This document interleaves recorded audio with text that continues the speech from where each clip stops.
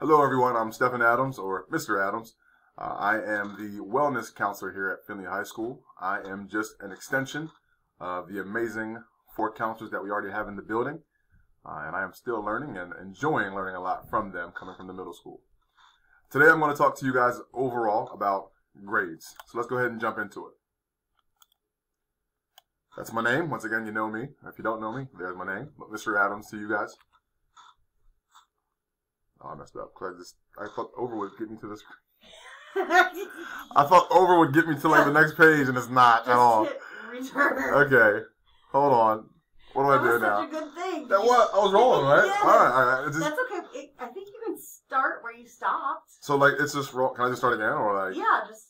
and you can well, cut hold it out? No, because we want to Okay. do that first part. Okay, So, so does it say like you can start? no, no, no.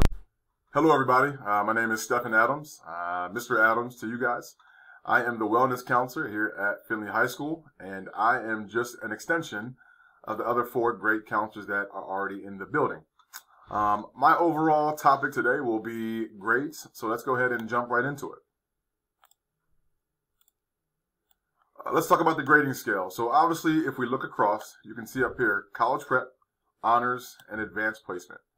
These are the grades that are required uh, for you to earn uh, the specific letter. So obviously, just looking at the top line, and then you guys can kind of decipher from there. Uh, in college prep, a 92 gets you an A. In honors, a 90 gets you an A. And in any of the advanced placement classes, an 86 will get you an A. And like I said, you can take a look right here at the other screen. Obviously, hopefully nobody is down here in the D column. We will all want to be above, okay, above. So keep working hard on that. Let's go over the GPA formula. So figure the GPA on a four-point scale and all credits earned. Okay, so credits are granted at semester. And if you look at the bottom here, divide your total points earned by total credits attempted to determine students' GPA. So let's look at a half credit or a semester.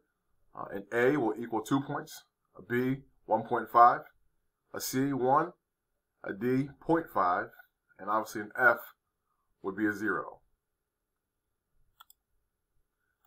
Semester grade, okay, so as we look here, so quarter 1, we're 37.5, quarter 2, 37.5, and also the exam will be 25%.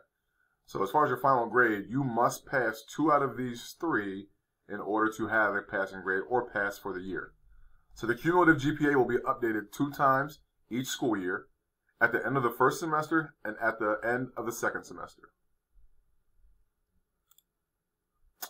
Honor roll, okay, so let's talk about distinguished honor roll, okay, 3.75 and above with no grade below a C, no withdrawals or fails or incompletes. Uh, if you're a merit if you're involved in the merit honor roll, then you'll earn a 3.25 to a 3.74 with no grades below a C, no withdrawals or fails or incompletes. And then AB honor roll will be any combination of all A's or B's. Once again, no withdrawals or fails or incompletes. Thank you. Appreciate your time and see you all around.